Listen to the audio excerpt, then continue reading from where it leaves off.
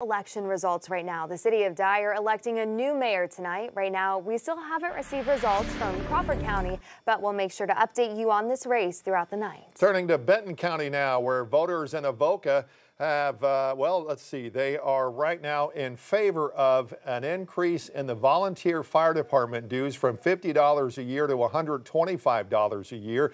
Again, these, these uh, results are still not complete yet. According to Avoca, the fire department there, the city has not had an increase in dues in 16 years. That's just by six votes separating the two there. That is very close. Wow, that's one to watch. Well, meanwhile, voters in Bella Vista chose to, let's take a look, they are going for the tax increase, a 0.5 mill increase in property taxes for the police department's pension plans. The mayor says it will cost an average resident $20 a year. And in Greenland, voters have uh, chosen to pass a measure that would allow alcohol sales on Sundays.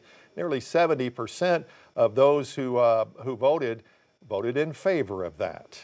That's probably the biggest Could one be, there. Exactly, yes. All right. Well, if you missed any of our Super Tuesday election results coverage, we've got you covered. Just head to 5newsonline.com for the complete recap. And don't forget, we're always just one click away on your phone. Get all your election results, local news, and weather on the 5 News app.